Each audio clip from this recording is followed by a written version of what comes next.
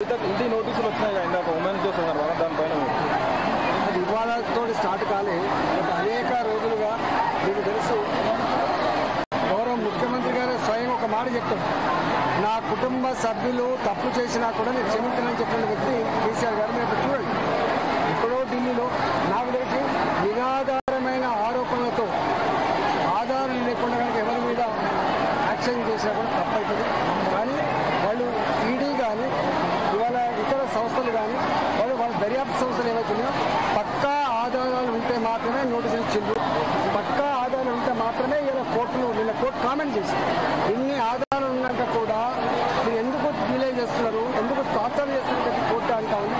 ఇవాళ స్త్రీ కావచ్చు కానీ గా మద్యం గా- ఇతర రాష్ట్రాలపై మద్యం వ్యాపారం చేసిన తప్పలేదు ఏది ఏమైనప్పటికీ కూడా ఇవాళ ఎవరు తప్పు చేసింది వాళ్ళు స్త్రీల పురుషుల బా పని లేకుండా వాళ్ళు ఉన్న వాళ్ళ లేని వాళ్ళంటే బాగా లేకుండా ఎవరు తప్పు చేసినా కూడా చట్టం తను తను తను చేసుకోకపోతుంది ఇలా సంస్థలు ఎవరి ఆదేశాలతో కాకుండా ఎవరి ఇన్ఫ్లుయెన్స్తో కాకుండా వారికి ఉన్న సమాచారంతో వారి చట్టబద్ధంగా వాళ్ళు యాక్షన్ చేసుకోకపోతుంది బీజేపీ మధ్యంతర ఎన్నికలు